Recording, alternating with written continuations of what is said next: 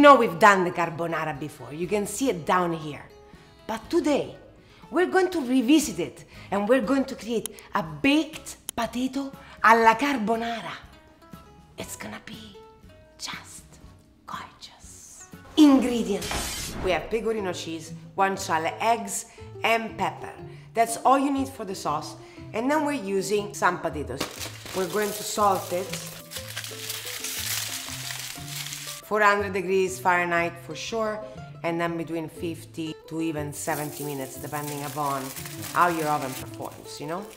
Size, Size matters. matters. Now in the oven.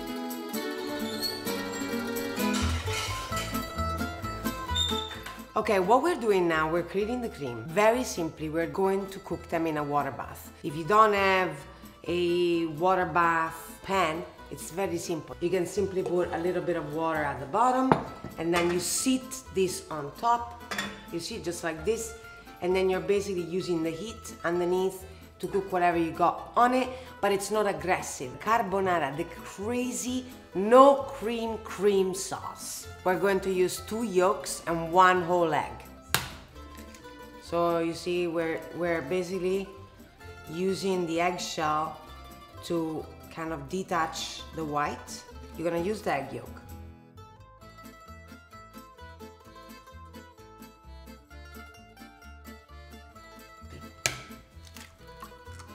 This is a point where everybody kind of has a little bit of a problem create the carbonara. Now you know you have a, a box grater, right? You have to go to the smallest grating setting. It literally it's going to be like fluffy powder, okay? So look at this.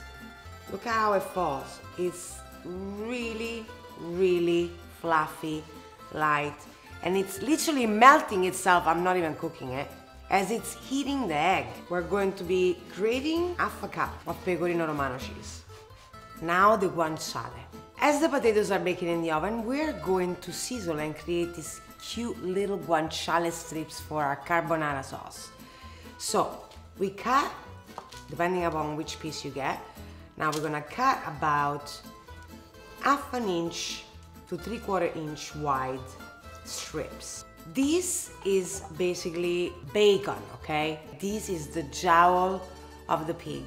So it is very strong, it's got a lot of character, it's um, a little bit more intense than a pancetta. The pancetta, for example, is the pig's belly. Pancetta means little belly in Italian. Cut them into half inch, maximum three quarters of an inch. You see how this was spiced with pepper? We are leaving it in. We want that kind of crunchiness with a little bit of spicy peppers on it. But you see how I'm cutting them? They are literally half an inch, maybe a tiny bit bigger than half an inch wide. I'm going to debunk a myth. Did you know that you don't need extra virgin olive oil to sizzle the guanciale? The guanciale itself is actually releasing the fat, and that is the secret of the carbonara sauce. No cream is the fat rendered from the guanciale that's going to be used in the egg and cheese mixture. We sizzle the guanciale just as it is.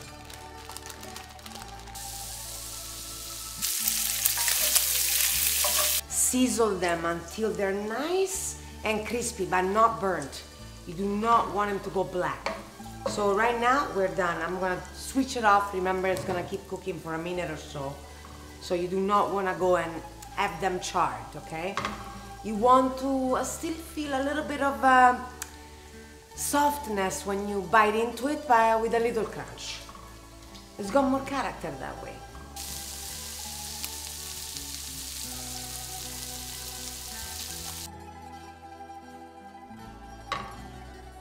At this point, I gently whisk it, okay?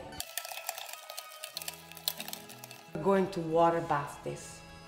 You really want to take it to a point where it's creamy, it is lightly cooked, but not scrambled.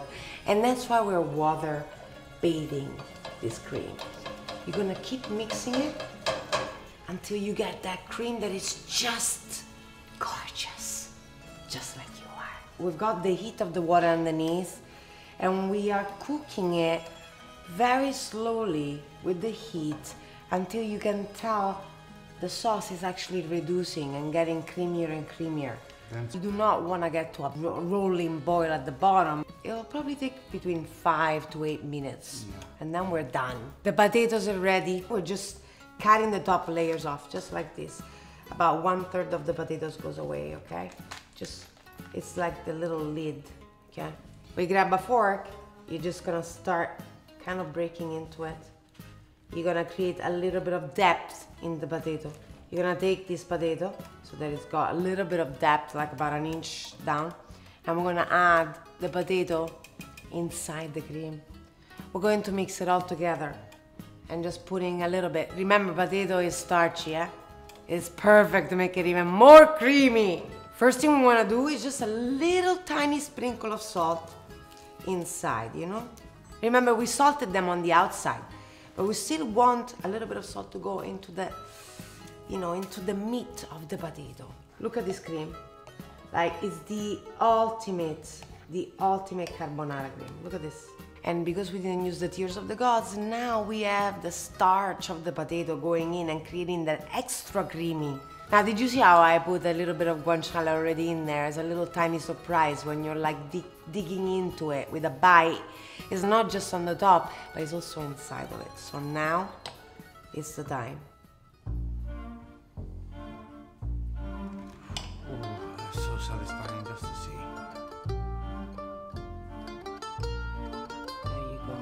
Finally, we top it off with that scrunchy guanciale on top.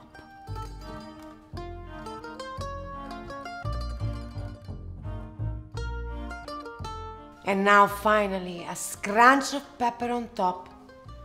Oh, this is just gorgeous. Just like you are. And now, of course, the test of all tests. The brother test. He convinced me I had to go first. okay, we have not tasted this. Let's see how it came out. Baked potato alla carbonara. Oh, Che miseria!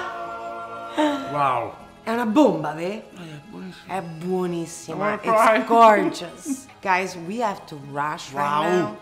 This, this right now is what is waiting for me. It's between me and the end of this video. So I say goodbye, like and comment, make the baked potato alla carbonara and let me know how it goes. Remember, you are just gorgeous. See you soon. Ciao. You like look at the depth. We kind of broken it up so that the cream is literally going all the way to the bottom. Look at this. Look at it.